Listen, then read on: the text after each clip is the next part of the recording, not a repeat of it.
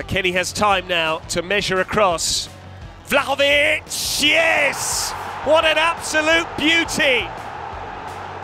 That's the statement. Just when Juventus needed him, he's come off the bench and scored the goal to give them back the lead.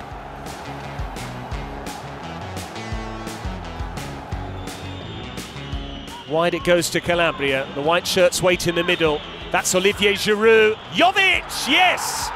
It is the late equaliser, right on the 90 minute mark. It's a purple patch for Luka Jovic.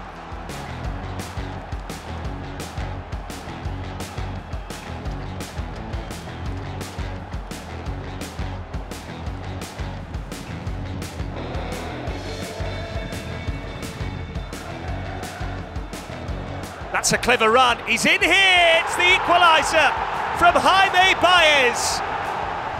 He only came on because of the injury to Pol Lirola. And yet Baez has scored an early equaliser here for Frosinone against Juventus.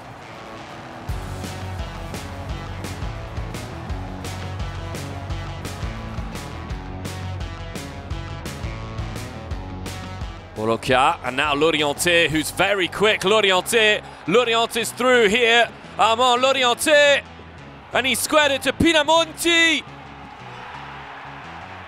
Sassuolo lead. Andrea Pinamonti rediscovers his goal-scoring form at the best possible time for the Neroverdi.